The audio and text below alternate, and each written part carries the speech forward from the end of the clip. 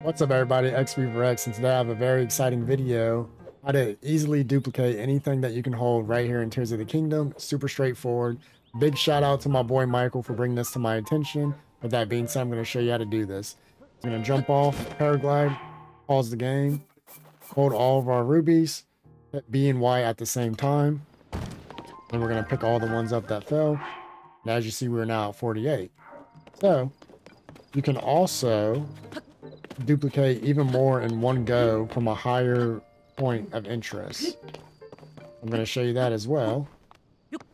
Do keep in mind, though, that there can only be 21 items spawn into the overworld before they disappear. So theoretically, we can do the five stacks, so we can do that four stacks plus the one to be 21 as we're free falling, okay? All right, so keep in mind, we can only have 21 items spawn into the world. We're going to jump, paraglide, pause. We're going to drop them.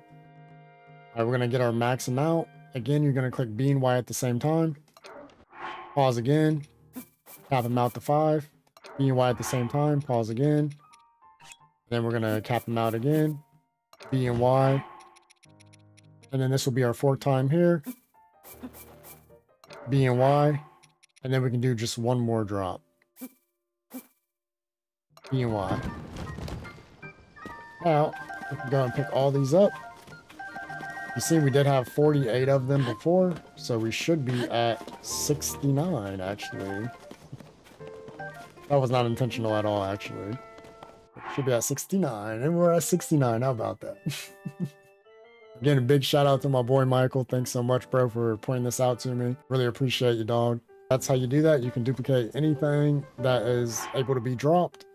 Hope this video was helpful to you in some way. Please leave a like, sub, comment, and as always, peace and prosper, baby. Much love. We'll catch you on the next one. Bye.